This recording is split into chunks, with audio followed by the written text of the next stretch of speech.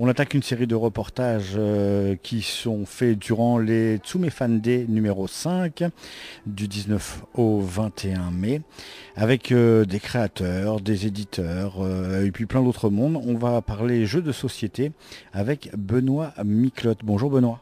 Bonjour. Alors, euh, je vous ai demandé de nous parler de ce que vous faites, car vous êtes créateur de jeux et vous êtes euh, ici au Tsume Fan Day avec euh, Yoka by Tsume pour présenter votre premier jeu édité qui s'appelle Arcans. On va parler d'Arcans dans, dans quelques minutes. Avant, on va parler peut-être un peu de vous, le monde du jeu, comment ça vous est venu et depuis combien de temps? Ben, le monde du jeu, en fait, je pense que tout le monde à un moment teste des jeux de société. Et avec un groupe d'amis, on jouait beaucoup à des jeux de, figurines, mais il y avait toujours une petite règle qui nous plaisait pas à gauche, une petite règle qui nous frustrait à droite. Donc on commençait à changer les règles. Et à partir d'un certain moment, on se dit, ben, tiens, tant qu'à changer les règles, autant créer notre propre jeu comme on le désire vraiment. Et donc on part sur un, premier prototype de jeu, puis on se dit ah ce thème-là est marrant, on va tenter de faire quelque chose sur ce jeu.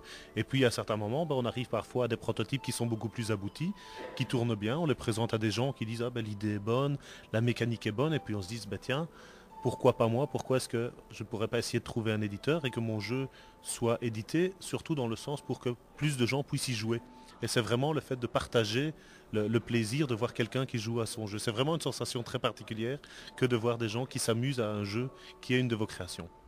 Arkane a une drôle d'histoire, Arkans, puisqu'avant il s'appelait La guerre des coins. Vous pouvez nous raconter cette histoire, parce que c'est un jeu que vous avez présenté dans un autre festival euh, en Belgique, je crois. Oui, c'est ça. Donc la, première version de Arkane s'appelait La guerre des coins. Euh, lorsque j'ai présenté le, prototype dans un salon, j'ai trouvé très rapidement un éditeur. Mais malheureusement, il m'a fait poireauter pendant deux ans en me disant oui, on aime bien, mais je dois encore tester ceci. Oui, mais j'aime bien, on doit voir le prix de cela. Et au bout de deux ans, j'ai dit ben voilà, euh, moi j'aimerais bien savoir si ça vous intéresse ou pas, parce qu'en attendant, je continue à le présenter. J'ai déjà eu d'autres personnes qui étaient aussi intéressées parce qu'ils voyaient que le jeu tournait bien et donnez-moi une réponse. Et ils m'ont dit oui, mais j'ai dit ok, donc ça va. Si vous ne savez pas après deux ans, c'est que vous n'avez pas envie. Je ne suis pas fâché envers vous, c'est comme ça. Et alors, euh, j'ai décidé de faire ma propre auto-édition. Donc j'ai fait une toute toute petite édition de 500 boîtes que j'ai présentée donc dans des salons et tout est parti très très rapidement. Et au dernier salon Troll et légendes ici, euh, j'avais eu la bonne idée de donner des post-it à tous les gens qui venaient et les gens mettaient leur avis sur le jeu. J'ai dit vous mettez ce que vous voulez, vous avez aimé, vous n'avez pas aimé. Si vous n'avez pas aimé, j'enlèverai le post-it, mais c'est pas vrai, je ne l'aurais pas fait. Et les gens ont commencé à coller ces post-it sur les gens, sur, le, sur ce panneau. À la fin de la première journée, le panneau était totalement rempli et la deuxième journée, les gens venaient en disant on ne sait pas c'est quoi ce jeu, on n'en a jamais entendu parler ce qui est logique puisqu'il n'avait pas d'approche commerciale, je vais dire. Euh, et, les gens attendaient pour jouer, pour faire une partie pour faire une partie de guerre des coins. Et donc euh, le, jeu a tourné, euh, il y avait quatre tables qui ont tourné non-stop pendant les trois jours. Et à la fin du, week-end, euh, Cédric donc, de, Yoka est venu voir en disant, ben voilà, on avait repéré ton jeu parmi les, prototypes et on voulait venir te voir de toute façon, mais on n'a pas su venir te voir avant parce que tu étais toujours occupé et on a vu évidemment le succès qu'avait la guerre des coins et ça nous intéresserait de travailler avec toi. Et c'est comme ça que l'aventure alors est passée de la guerre des coins à Arkane parce que Yoka aimait bien remettre un thème un petit peu plus je vais dire professionnel, étant donné que la guerre des coins était totalement faite par moi-même au niveau illustration, graphique, et c'était pas vraiment amateur, mais c'était beaucoup moins professionnel que par un dessinateur professionnel, comme maintenant Régis Torres. Alors ça implique euh, un travail euh, euh, dans d'un commun accord entre vous, entre un illustrateur et euh, Yoka Baitsume. Euh, vous travaillez comment? Via mail? Faut se rencontrer? Ça prend du temps? Ben, disons, on a la chance d'être maintenant dans une époque de technologie où on a très facile d'accès à voir les gens. Donc on a fait ça par Skype. Et régulièrement, il disait, voilà, Qu'est-ce que tu penses de ce dessin-là? Est-ce qu'il te plaît? Est-ce qu'il ne te plaît pas? Qu'est-ce que tu changerais? Et moi, je donnais mon avis.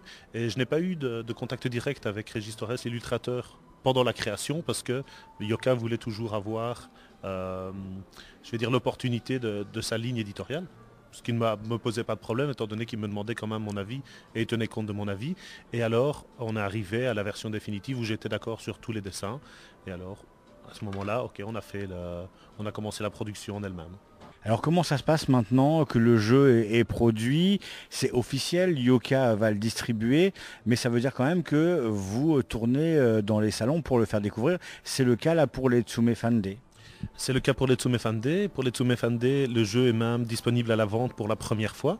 Il a été présenté au public en tant que à Cannes, au Festival de Cannes, où il a eu un excellent retour. Mais ce qui était très, très bizarre dans un sens, c'est qu'il y avait quand même beaucoup de frustration des gens qui le testaient parce qu'ils ne pouvaient pas l'acheter sur place. Donc on dit, mais oui, c'est vraiment une avant-première, c'est le principe de l'avant-première. Et donc il y avait entre les gens qui voulaient revenir jouer une deuxième fois quand même parce qu'ils avaient aimé, laisser la place pour les autres et devoir attendre. Donc euh, on a fait ça, on a fait Ludinor qui était un petit peu le même principe avec la date qui se rapprochait. Et ici maintenant, les gens qui jouent et qui aiment vraiment bien, ben, ils peuvent reprendre. Il y a une dédicace également, donc ils sont vraiment très contents. Et l'avenir sera aussi fait de, différents festivals où euh, le jeu sera présenté, sera expliqué aux gens. Il y a déjà pas mal de boutiques qui m'ont demandé de, venir dire si vous venez chez nous, on fera une soirée spéciale pour, euh, pour Arkane, ce qui me fait vraiment très plaisir. Ben, parfois, ce n'est pas toujours évident parce que j'habite en Belgique, au cas où on n'aurait pas trouvé à mon accent. Mais euh, si on m'invite à Toulouse, c'est pas évident. C'est quand même à plus de 1000 km. Donc, pour certaines boutiques, je peux le faire. Lorsqu'en vacances, je passe à côté, ben, je m'arrange. Je dis, ben voilà, ce jour-là, j'essaie de passer. Est-ce que ça vous arrange? On essaie de trouver quelque chose. Mais sinon, ben, on verra au fur et à mesure comment, comment c'est possible d'organiser ça. Alors la particularité des Tsumen Fande, c'est euh, trois jours consacrés à Tsume, qui est quand même plutôt une maison qui propose des figurines de luxe tirées d'animes japonais. Arkans a aucun rapport euh, avec, euh, avec les animes et le Japon.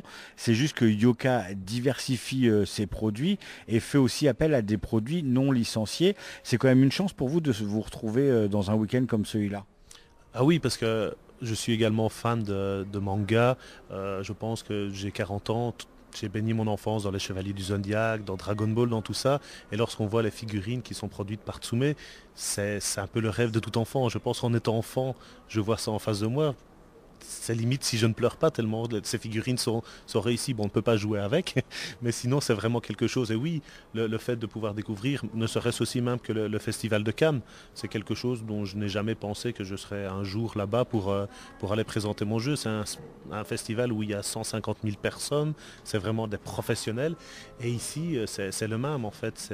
Ce sont vraiment des passionnés de de, leur travail.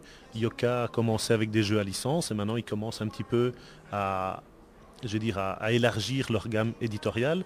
Et ce qu'ils recherchaient principalement, ce sont des jeux faciles d'accès, également très complexes au niveau de la stratégie, c'est-à-dire pas un jeu où lorsqu'on a fait deux parties, on a tout découvert et il n'y a plus rien à faire. Donc pas des jeux simplistes, mais des jeux comme par exemple Arkane et évidemment Mao, qui est le jeu de Vincent Joassin, qui est également un jeu avec un, thème graphique très fort, des règles très simples, mais il y a beaucoup d'amusement, il y a beaucoup de petites choses à faire, on ne s'ennuie pas du tout.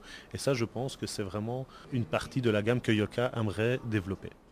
Et puis on s'aperçoit qu'on touche euh, un public qui peut-être euh, ne s'y attendait pas. Les fans d'anime ne sont pas forcément des, des joueurs. Et depuis euh, deux jours, les tables ne désemplissent pas en fait. Oui, mais je crois quand même que malgré tout, à partir du moment où on est fan d'anime, on a quand même encore une petite âme d'enfant et un jeu, ça reste un jeu. Les, gens se prennent au jeu, même si au départ, ils se disent tiens, ah, c'est un jeu sur un animé que je connais, donc ils vont tout de suite aller voir parce que forcément ils aiment bien. Puis ils regardent un autre jeu. D'abord, on voit, ça dans le regard des gens, ils sont un petit peu à l'écart, ils regardent par-dessus l'épaule, tiens, qu'est-ce qui se passe?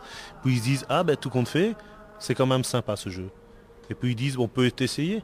Bah, les parties vont vite, euh, ça peut durer un quart d'heure, 20 minutes. Et puis, ah, ils testent la partie. Ah, ben on aime vraiment bien. On peut en faire une deuxième. Ah, bah, tout compte fait, on aime vraiment, vraiment bien. On aimerait bien le présenter aussi à des amis. Donc, ou ils reviennent un peu plus tard avec un groupe d'amis, ou alors ils disent, bah, on va prendre une boîte, comme ça on pourra le présenter. Et, euh, c'est ça qui fait toujours plaisir. C'est vraiment cette sensation que les gens sont contents. Vous avez réussi à leur faire passer un bon moment à tester un de vos jeux. Alors parlons de ce jeu maintenant, Arcans. Qu'est-ce que c'est que ce jeu à base de tuiles? C'est très stratégique. On, pense euh, très rapidement euh, aux échecs où il faut poser des pièces. Euh, alors même si ça n'a rien à voir, mais c'est un système de pose de tuiles, mais avec des règles spécifiques. Oui, en fait, en, partant du milieu, le but c'est d'arriver à, récupérer les arcanes. Les arcanes sont les portails arcaniques qui sont dans chacun des coins du plateau. Donc vous avez des tuiles avec un nombre de soldats et il faut toujours respecter la règle. Il faut faire une égalité bord à bord. Donc sur un côté, admettons, il y a un 3. Il faut mettre une tuile avec un 3 ou un chiffre supérieur. Si vous mettez un 3 à côté d'un 3, c'est une égalité, les deux tuiles restent. Si vous mettez un chiffre supérieur, la petite est retirée. Il y a plus de soldats sur la tuile avec le grand chiffre et donc ils attaquent les autres et elle est. Les règles, c'est presque ça, il n'y a pas beaucoup de règles. Lorsqu'on fait une égalité, on peut récupérer des tuiles en main. Donc on a quatre tuiles en main dès le départ, on peut récupérer dans sa réserve. Si on enlève des tuiles, ben, il faudra attendre un peu plus tard pour pouvoir récupérer des tuiles en faisant une égalité. Donc il y a beaucoup de petites choses à gérer. Mais après ça, les règles sont très faciles à expliquer, très faciles à comprendre. Après une partie, on a déjà bien compris ce qu'on pouvait faire, ce qu'on ne pouvait pas faire. Et plus on va jouer, plus on va créer des, stratégies, plus on va voir les choses, des, petites finalités, des petites finesses à gauche, à droite, qui permettent justement, je ne vais pas dire de s'améliorer, mais de, devenir de plus en plus fort à ce jeu. Les subtilités se comprennent très très vite euh, pour l'avoir essayé. En une partie, on arrive à, tout voir et même d'apprendre de ses erreurs. Et du coup, ça donne vraiment envie tout de suite de rejouer pour appliquer en fait ce qu'on apprend euh, dans cette première ou deuxième partie. Euh, et il y a aussi le fait que ce n'est pas pareil si on joue à deux, trois ou quatre joueurs. Oui, c'est ça, c'est l'avantage, disons. Euh, le but, c'est à deux joueurs, c'est un contre un. Ce sont des parties qui sont fort stratégiques et fort rapides. Ça dure entre 15 et 20 minutes maximum. À trois, mais il fallait le créer parce que il y a beaucoup de, familles ou de groupes d'amis où il n'y a que trois personnes. Donc là, c'est du 1 contre 1 contre 1, bien qu'on remarque que c'est quand même du 1 contre 2 dans le sens où celui qui prend l'avantage, les deux autres vont tout de suite se liguer contre lui pour le faire perdre. Et après, cette alliance se brise tout de suite pour qu'il y en ait un qui reprenne le lead, donc ça change, c'est fort dynamique. Et alors à 4, là c'est du 2 contre 2 la plupart du temps, et c'est vraiment, euh, c'est un jeu qui devient plus ambiance aussi, parce qu'on peut parler avec son partenaire, on peut lui dire, ah, il y a une tuile qui m'embête, est-ce que tu peux l'enlever? Les autres entendent, donc ils réagissent en conséquence. On est toujours obligé de jouer, et de temps en temps, dans certaines situations, ben, on enlève les tuiles de son partenaire, voir les coins de son partenaire, et alors là il se dit, euh, pourquoi tu enlèves mes coins à moi, et pourquoi tu n'enlèves pas les autres? Et donc il y a tout de suite un une ambiance particulière de, rigolade qui, se met en route et c'est vraiment chouette de, jouer à 4. Ma... Moi, c'est vraiment la méthode de jeu euh, que je préfère. Merci beaucoup euh, Benoît pour nous avoir parlé de Arcans. Est-ce qu'on peut euh, avoir le prix de, la boîte? Oui, donc normalement il sera environ dans les environs de 25 euros prix boutique. Ce qui est super abordable. Ce qui est super abordable, c'est du bon matériel. Quand on regarde, il y a des cartes et le, plateau est très beau au niveau qualité-prix, je trouve franchement que c'est vraiment... Euh, on peut se faire plaisir pour, euh, ce prix-là et euh, ça rentabilise bien, étant donné que toutes les tuiles sont différentes, toutes les parties seront différentes et il n'a pas du tout d'impression de répétabilité, d'avoir tout le temps les mêmes situations au fur et à mesure. Je tiens à te remercier aussi pour, pour cette interview, pour ta gentillesse tout ce week-end et un petit clin d'œil, tu essaieras de me battre la prochaine fois. Merci beaucoup.